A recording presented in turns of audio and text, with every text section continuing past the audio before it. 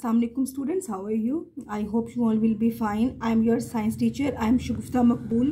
Please open this book of Cambridge Inspiring Science for grade 1 open page number 26 of this book. Before starting work on this book I am going to tell you main points of this lesson. Today our topic is kinds of animals. First of all students after reading after uh, doing work on this book after doing back exercise and after doing fill in the blanks now you are able to tell to anyone animals have different shapes sizes and body parts animals may be big or small some animals are big like. Elephant, giraffe, some animals are small like cat, dog. Animals may have two or more legs or no legs at all. Some any, uh, animals have two or more legs. Birds have two legs.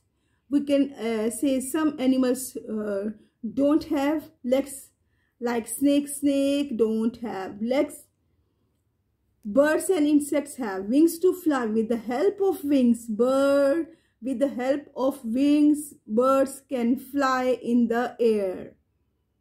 Some animals have fur or hair. Some animals have hair on body. Some animals have fur or hair on body. Some have scales like snakes have scales. Lion have, have we can say lion have hair and lion have fur on uh, its body scale snakes have scales. Some other have feathers on their body. Animals live on land in water and fly in the air. Animals that live on land animals that live on land we can see these animals in the forest like tiger lion monkey elephant giraffe deer. These are the animals that live on land some animals live in the water like fish, turtle, crocodile. Some animals live in the water and near the waters. Next one, some animals fly in the sky.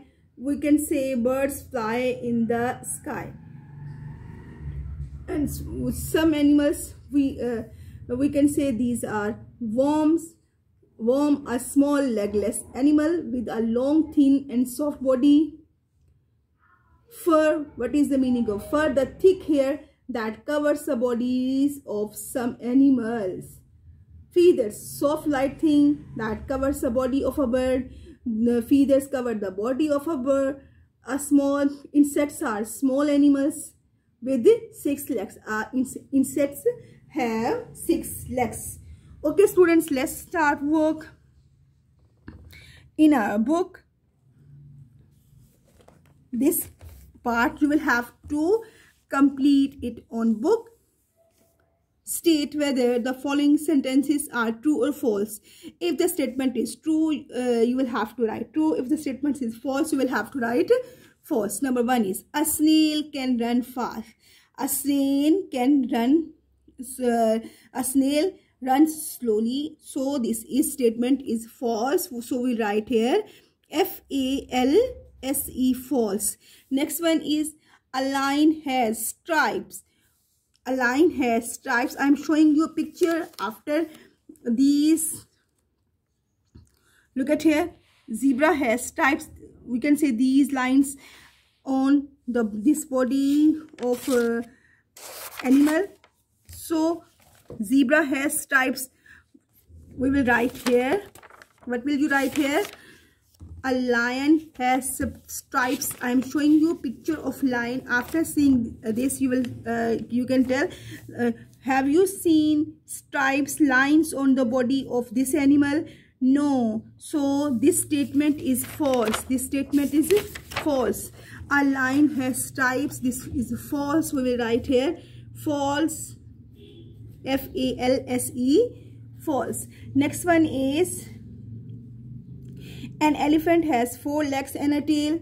Yes, an elephant has a four legs and a tail. After seeing the picture of animal, you can tell count the legs of this animal and one two three four legs this is tail so this is this statement is true we will write here this is true elephant has a t-r-u-e has four legs and a tail wings help a bird to fly. These are wings.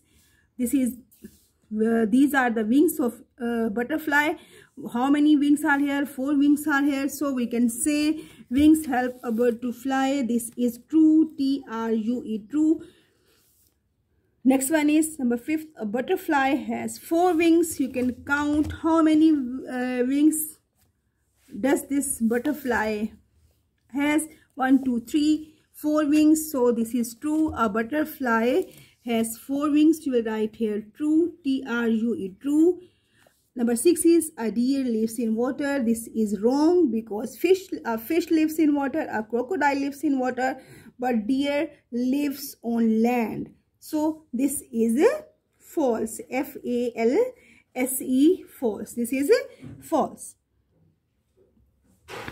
Look at this page, students. Page uh, you will have to complete true false that are given on page number 26 by yourself like this way. Next one this is this part is of task.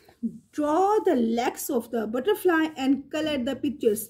You will have to draw the legs of uh, butterfly. After seeing picture of butterfly you will have to um, draw the legs of butterfly and color the picture uh, after doing work on page number 26 after doing true false on page number 26 you will have to complete um, this task that is given on page number 27 look at here. Students after watching this video if you are feeling any difficulty in doing this work you can discuss with me. Thank you so much